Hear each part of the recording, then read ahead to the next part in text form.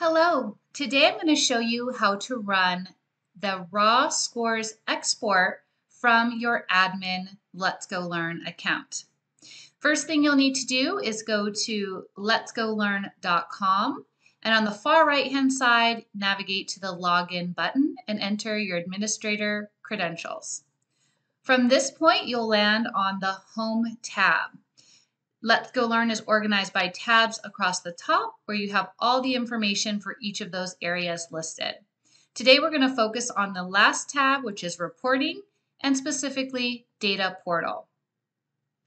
From here, you'll land on the data portal home tab where you have a lot of information that you can access immediately.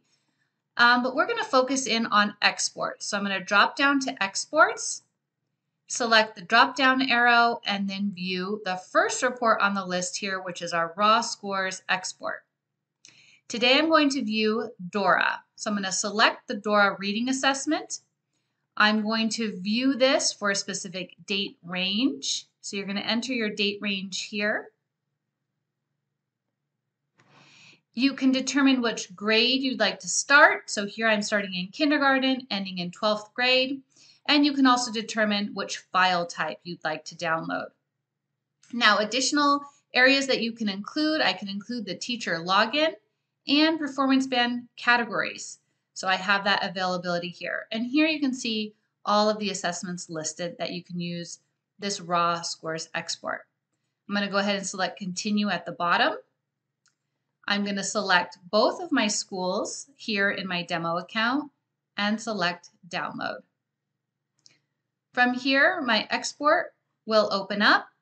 Now you'll see I'm going to go ahead and move my columns open a bit so I can see my student names, I see their site name, and I have all the raw scores listed across the top for all of the students.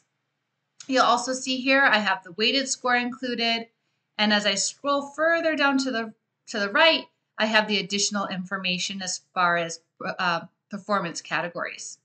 So all of that is available for you to use and, um, you know, and switch around as needed.